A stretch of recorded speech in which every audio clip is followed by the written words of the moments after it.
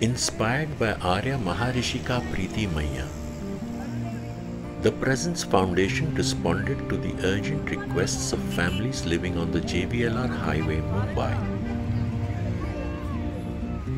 by providing dry ration kits with rice, green and yellow moong, and wheat flour.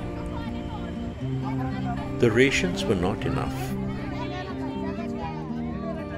With late and hungry arrivals, desperate to get whatever possible.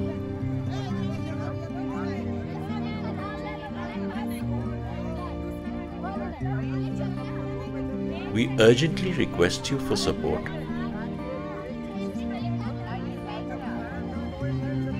Feed the hungry families of Mumbai. Donate now.